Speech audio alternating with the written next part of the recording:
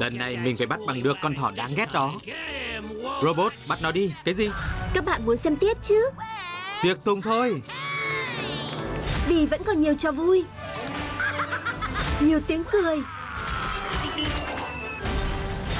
Và nhiều tập phim nữa. Này Họ lại thế rồi.